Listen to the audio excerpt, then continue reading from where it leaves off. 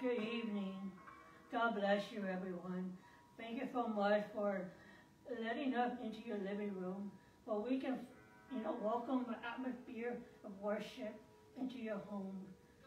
And I just want to encourage you that the Bible says in John chapter 9, verse 5, it says, I've long down the world that I am the light of the world. And I believe that we're going to continue to grow in our faithfulness. We're going to continue to grow the Lord is doing in this season. We're going to have open prayer for Odalys Luna, and then we're going to go ahead and go to announcement.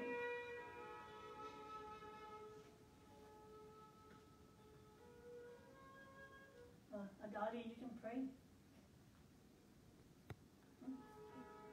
Dear Heavenly Father, I thank you for this evening and I thank you for the opportunity Brother Jared has given me to preach today, to bring a message, and I am so thankful for his life and for allowing us, my family and I, to be welcomed here. I ask that this message be touched in people's hearts today. In the name of Jesus, I pray, amen. Amen. You know, I'm very excited about the month of December. You know, every year since 2020, when we started in the church, I always look forward, you know, the story when Jesus was born in the manger.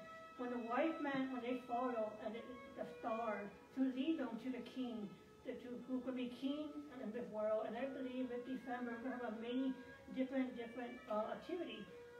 Next week on December 3rd, we're going to start a new sermon called The Light of Jesus. And then on December 10th, Veronica Fuentes is going to be sharing a word. So Veronica Fuentes will be sharing here on December 10th. On December 17th, we're going to have a 200 service. And then on December 22nd, um, we're going to have a candlelight service. If you're a sixth grader to, to in high school, we're going to invite you to a candlelight service. And then later on, we're not going to have service on December 24th, but we're not going to have prayer service on December 31st. So we're very blessed. I mean, you guys know we've been doing a sermon series on planting seed the whole month of November. We've been talking about, you know, faithfulness, about mustard seed, about the purpose of seed, and having a seed of peace. But today, uh, one of our uh, faithful uh, Odalys, she's been helping me out the past several months. We're going to be sharing a word to close the sermon series on planting seeds. I want to invite Odalys Luna to come up to the stage.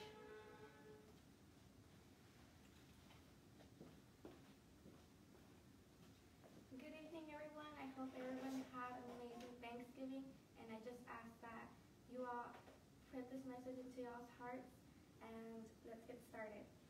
For today's message to close off the sermon series, Planting the Seed, I want to talk a little bit about giving thanks and also incorporating the last part of planting the seed.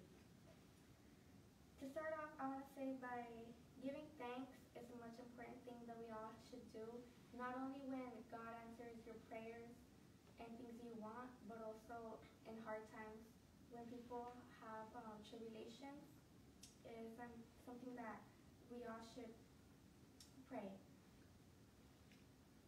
For the first scripture, if you all could join me in 1 Thessalonians verse 1 Thessalonians chapter 5 verse 16 to 18. The word God says, Rejoice always, pray without ceasing, in everything give thanks, for this is the will of God in Christ Jesus for you. This scripture to me means a lot, and it also means that to give thanks in every circumstance, not only when he is doing something for you or for the benefit, but in any in any way not only for your blessings, but should always give thanks because as Christians, one of the most important things as and what it should be a part of our hearts.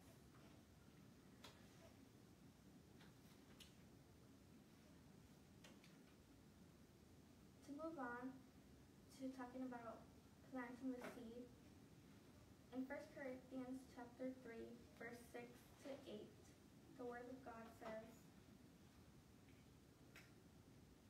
I planted a Apollos water, but God gave me increase. So then neither the plant was anything, for he who waters, but God who gives the increase.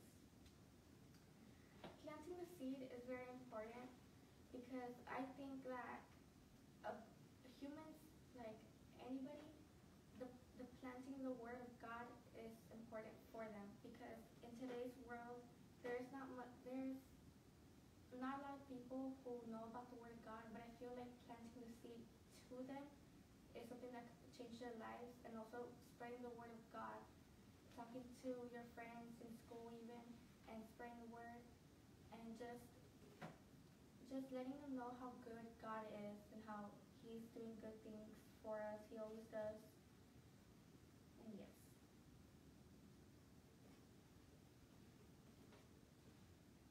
If you could all close the sermon and join me in a prayer.